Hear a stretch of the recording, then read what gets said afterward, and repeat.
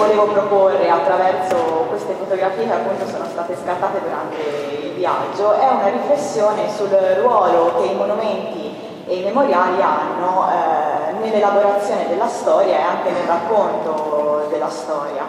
E eh, possiamo partire innanzitutto con una riflessione sulla memoria, una memoria che non è qualcosa di statico e definitivo, ma piuttosto qualcosa di dinamico, direi piuttosto un processo. Eh, e, eh, la cosa interessante dei monumenti e dei memoriali è che spesso sono fatti invece di pietra, cioè di un materiale duro, poco, poco duttile, eh, ma vedremo in realtà come eh, questa dialettica fra eh, la staticità della pietra, la staticità dei materiali utilizzati per fare memoria deve in un certo senso eh, avvicinarsi a quello che la memoria è, ovvero un processo. Ma eh, interroghiamoci innanzitutto su che cosa sono e a cosa servono i, i monumenti e i memoriali.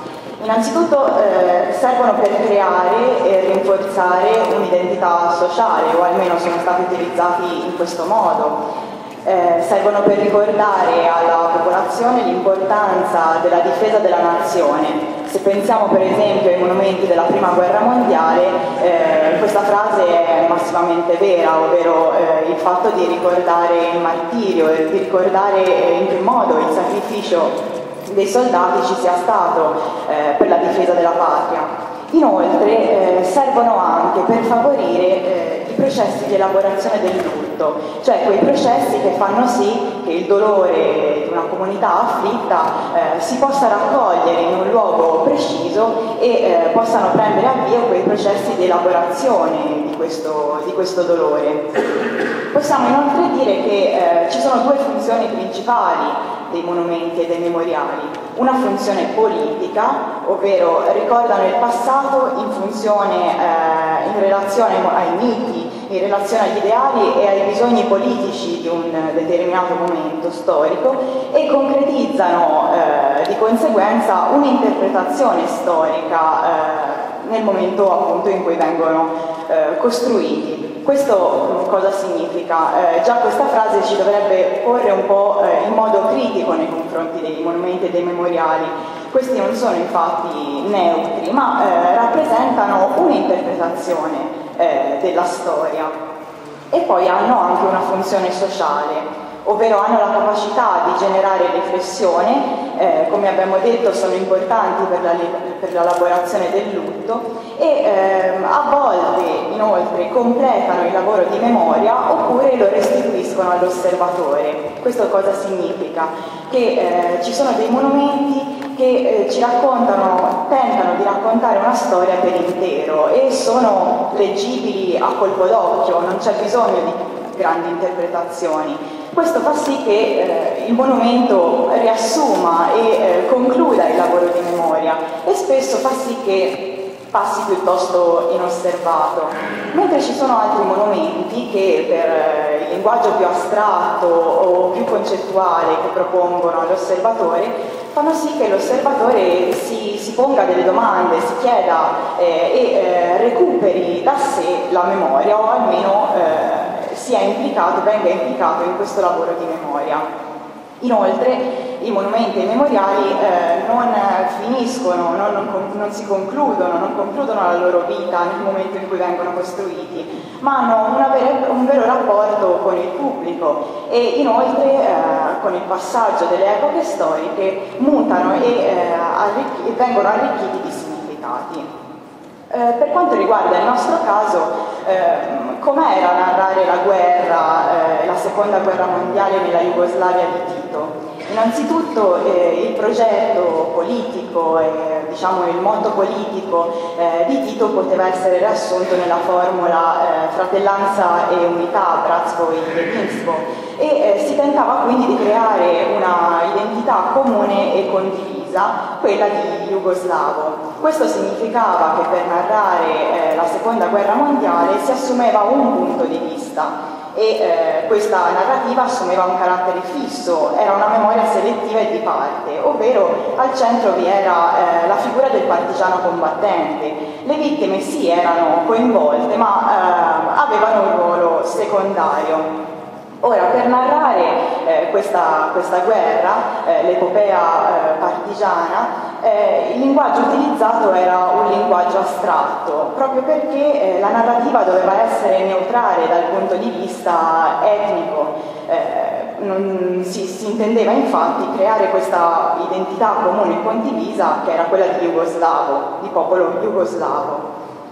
Mentre eh, questo il modo di la politica della memoria eh, negli anni 90 e dopo gli anni 90 cambia eh, totalmente. Innanzitutto eh, c'è un difficile recupero del passato recente eh, che eh, da un certo punto di vista riflette il difficile confronto con il passato invece della seconda guerra mondiale un confronto che eh, da certi punti di vista non era avvenuto eh, nella Jugoslavia socialista.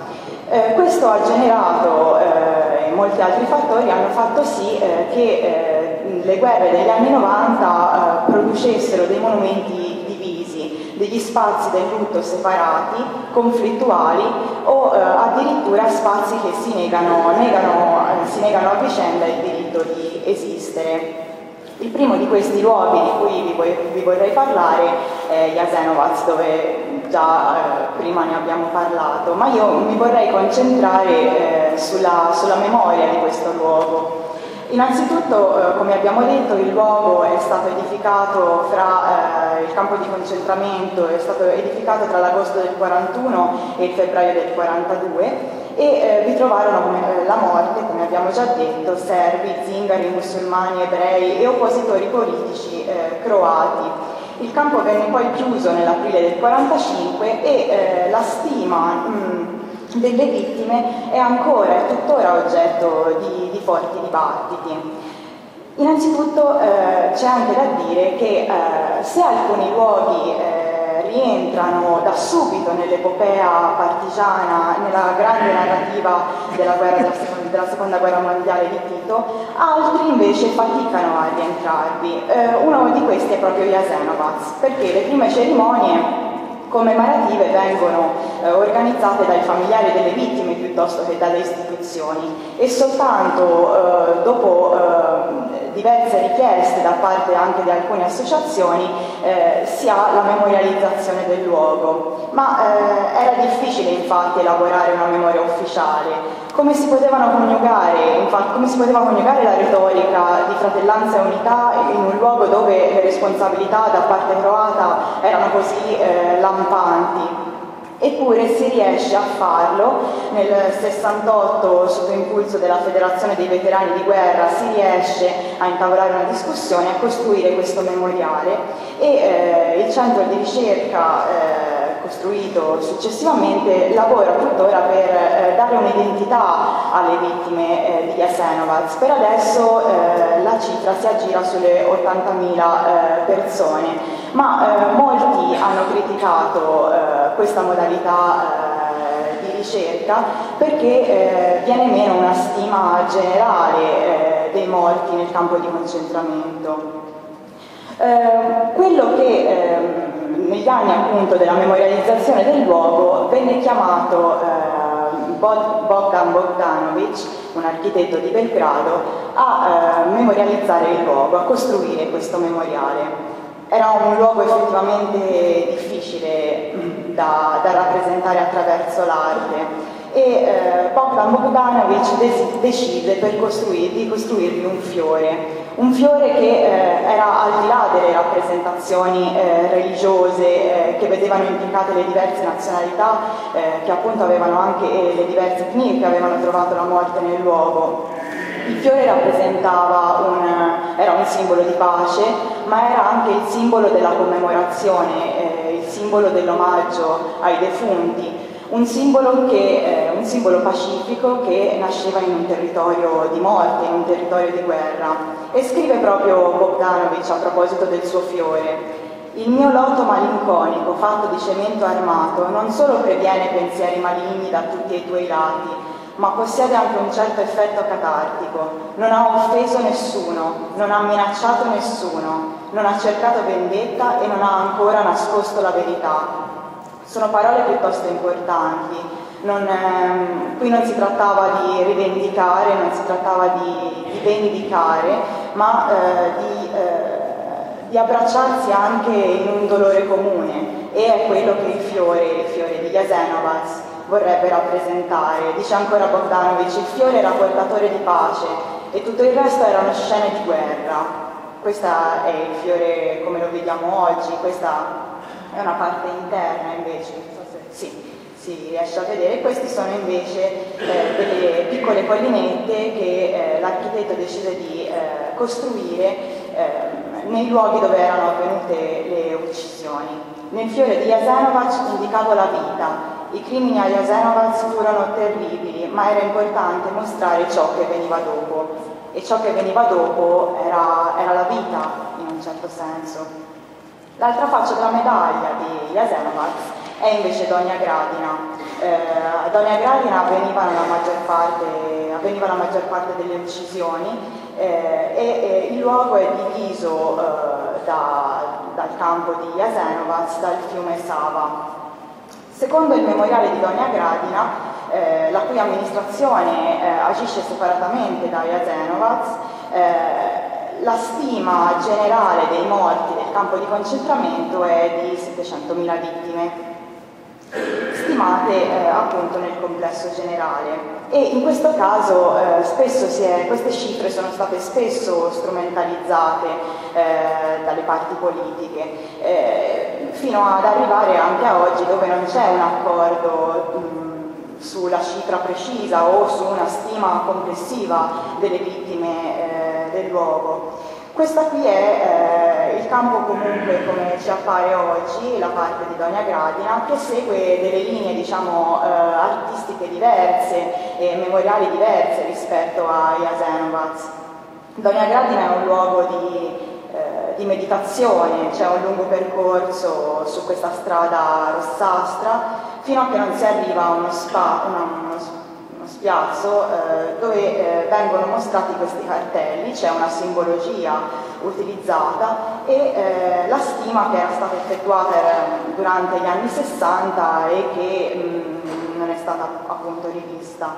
Il luogo suggerisce però una, un ripiegamento su se stessi durante, nel momento in cui viene effettuato questo cammino, che è un cammino di silenzio e di meditazione all'interno, all'interno della foresta eh, che per certi versi è rappresentato, eh, può essere legato agli Asenovac nel momento in cui anche lì eh, c'è una certa, la, la commemorazione, il, il, raccoglimento in se stessi mentre si arriva al fiore eh, che si trova nel centro del, del campo. Eh, campo, questi campi, questa storia è eh, direttamente collegata ad un'altra vicenda eh, della storia dei territori dell'ex Jugoslavia, ovvero eh, la battaglia del Monte Kozara. Eh, Monte, sul Monte Kozara vi fu una battaglia importante nel 1942 tra eh, nazisti e Ustascia da un lato e partigiani e, a difesa della popolazione civile che si era raccolta appunto sul, eh, sul monte. Eh, l'avvenimento divenne un avvenimento chiave nella narrazione storica jugoslava eh, proprio perché rappresentava un momento eh, della coraggio, del coraggio di questi partigiani che avevano tentato eh, di, eh, di, difendere appunto la popolazione civile. Eh, il bosco, che si trova appunto su, sul Monte Colzara, è stato dichiarato bosco storico nel 1952, nel 1972 viene proclamato parco nazionale e vi viene costruito un, un memoriale e un museo eh, che raccoglievano l'eroico racconto eh, della guerra partigiana. Mm, questo è appunto il, il, monumento che è tuttora appunto visibile, ma eh, dal 99 ci fu una rilettura in chiave nazionalistica degli eventi, infatti la mostra dedicata alla, alla seconda guerra mondiale eh, venne sostituita da una mostra provvisoria dal titolo Il genocidio dei serbi nel XX secolo, prima guerra mondiale, seconda guerra mondiale, come potete vedere dalle date, e poi un 1991 con un trattino e un punto interrogativo, come a voler dire che eh, il genocidio del popolo serbo sarebbe avvenuto ancora, oppure era già avvenuto. Eh, dopo eh, diverse commissioni eh, nel, all'incirca verso il 2010, questa mostra è stata poi eh, smantellata e se andate oggi al museo del Cozara ritroverete la mostra precedente, quella dedicata alla battaglia del 42. Questa è appunto eh, monte, la, la, torre come ci appare oggi. Ehm, Zamonia, che era appunto l'architetto responsabile della sua costruzione, eh, parla eh, e dice che eh, la torre rappresenta appunto il, i partigiani in lotta, eh, di fronte abbiamo questi piloni che sono invece i nemici, eh, gli Ustascia, i nazisti, e dietro, già all'interno della foresta, vi è la popolazione civile che tenta eh, appunto di, di, essere difesa dai partigiani. All'interno della torre vi si accede con difficoltà, infatti eh, come potete vedere piccole, la, la, torre è costruita da piccole colonne ehm, che eh, si convergono nel centro. Nel centro eh, c'è buio, ma guardando in alto vediamo la luce. In un certo senso è la vittoria, eh, è la vittoria comunque su, dell'antifascismo, sul nazismo, eh, sul fascismo, eh, che eh, si raggiunge con, con molta difficoltà, ma arrivati all'interno basta alzare gli occhi e vediamo la luce, la vittoria.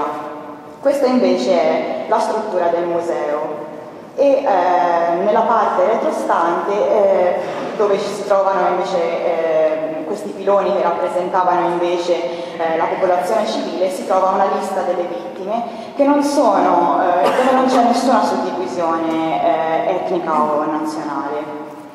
Un altro caso, adesso passiamo invece alla, al conflitto degli anni 90 e vediamo invece in che modo a Priedor eh, si sono eh, confrontati con il passato recente.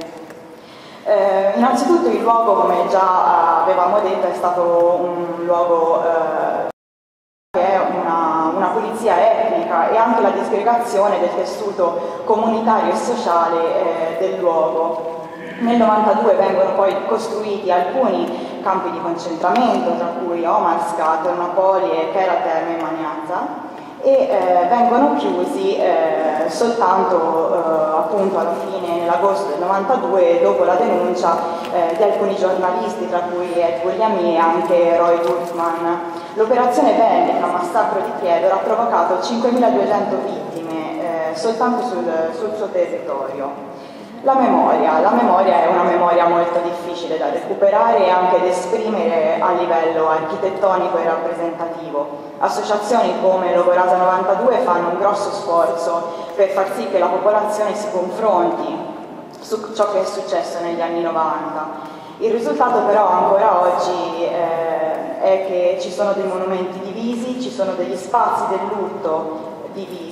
Un esempio eh, è per esempio il monumento dedicato alle vittime della guerra 92-95 che eh, vorrebbe essere un monumento a vocazione eh, generale possiamo dire, sorto soltanto l'8 maggio del 2011 eh, e eh, a cui l'associazione la, tra l'altro Logorasa 92 ha, ha, dato un grosso impulso. Il monumento eh, ricorda appunto le vittime del villaggio di Kozara e, eh, e della guerra appunto e eh, all'interno di, di, questo monumento vi sono i nomi di tutte le vittime eh, e si trova lontano però dal centro di Piedor. Nel centro di Piedor invece sorge questo monumento che è una, una croce eh, ortodossa dedicata invece alle vittime serbe del conflitto. Tornopoli, come alcuni di voi hanno ricordato, eh, giace invece in stato di abbandono, l'edificio scolastico che era adibito a, a, appunto a campo eh, di concentramento durante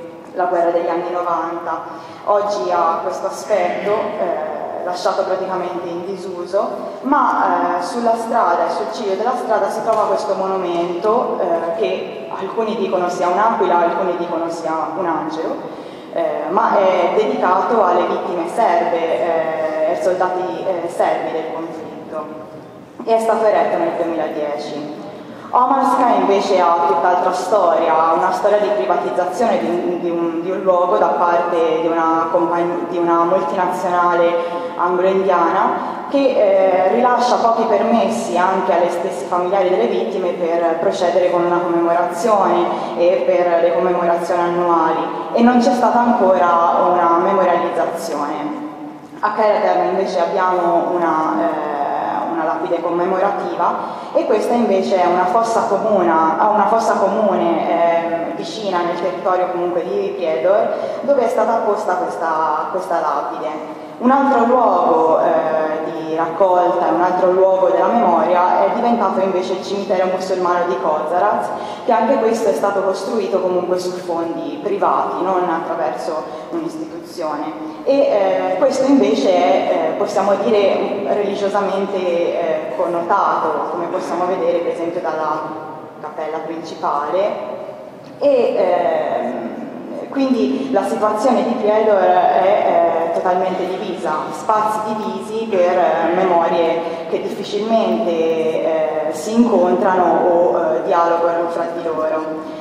Sarajevo, eh, questa è stata una delle tappe del nostro viaggio, eh, ricorda, ha ricordato attraverso politiche della memoria eh, l'assedio, il lungo assedio che, che, appunto è avvenuto durante la guerra. Il 5 aprile del 2012 infatti eh, venne fatta una, la cosiddetta linea rossa di Sarajevo, ovvero nella strada eh, dedicata al maresciallo Tito 11.541 eh, sedie vuote sono state messe tutte in fila per rappresentare le vittime dell'assedio una rappresentazione di forte, di forte impatto, possiamo dire. E eh, nel territorio, appunto, proprio nella città di Sarajevo, si trovano molti luoghi del ricordo, tra cui il mercato di Marcale, dove eh, ci furono le due stragi, eh, il 5 febbraio del 94 e il 28 agosto del 95, dove morirono eh, quasi, mille, quasi 100 persone.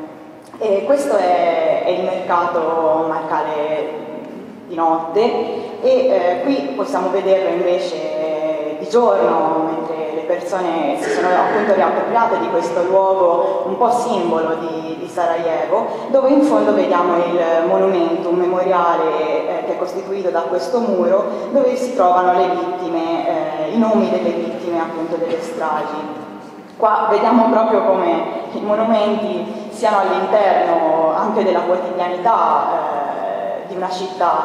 Qui per esempio c'è un monumento dedicato alle vittime fila, della fila per il pane davanti al negozio.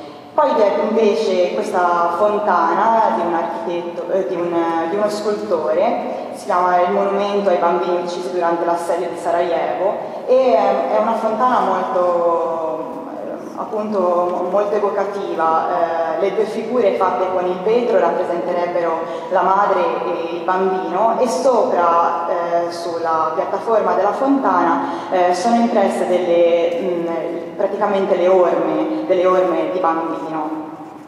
Ma eh, c'è un altro volto eh, di Sarajevo eh, su cui gli architetti hanno deciso invece di non intervenire o di intervenire soltanto per far vedere il, il vuoto che la guerra ha lasciato. E questi sono appunto gli edifici martoriati ancora da, dalle pallottole, oppure le granate che sono esplose eh, nel, nella pavimentazione appunto nella, nella città. Eh, alcune di queste eh, di queste appunto cicatrici, possiamo dire, sono state eh, ricoperte di una cera rossa. Um, questa era un'iniziativa eh, che le voleva far diventare le rose di Sarajevo, eh, cioè dei punti eh, in cui chiunque passasse si poteva ricordare di ciò che era avvenuto e eh, il colore rosso sicuramente ricordava eh, sia faceva sì che la gente vi ponesse attenzione sia ricordava la strage, ricordava il dolore. Qui per esempio la vediamo eh, in un edificio. Eh, un altro punto importante eh, che Sarajevo dedica diciamo, alla memoria eh, della guerra è la Galleria 11795 dedicata a eh, Srebrenica. Eh, infatti ehm, all'interno della galleria si trova una mostra fotografica, come possiamo vedere, dove vengono ricordate le vittime appunto di Srebrenica e una mostra fotografica invece dedicata a come oggi eh, Srebrenica, al difficile eh, lavoro di recupero delle identità delle vittime attraverso appunto lo studio del DNA e eh, facendo vedere che cosa, delle immagini molto evocative possiamo dire su eh, quello che è oggi eh, Srebrenica. E, ehm, vorrei quindi chiudere questa riflessione sui luoghi che eh, secondo me eh, ci può far molto ragionare anche sull'importanza della memoria eh, con una frase, con questa immagine che ehm, appunto mh, su cui vorrei che voi rifletteste oggi. Eh, vi vorrei farvi chiedere che cosa succede, e mi vorrei chiedere anch'io, che cosa succede se ci dimentichiamo di ricordare e che cosa succede se quindi ci dimentichiamo di erigere memoriali, se ci dimentichiamo di confrontarci con il passato. Eh, ho paura che eh, venendo meno la nostra iniziativa i paesaggi diventino muti, un po' come questo paesaggio, che se nessuno ci facesse caso, se nessuno vedesse la lapide che vi è posta o semplicemente vi passasse davanti, eh, sembrerebbe soltanto una prateria con in fondo un bosco. Grazie.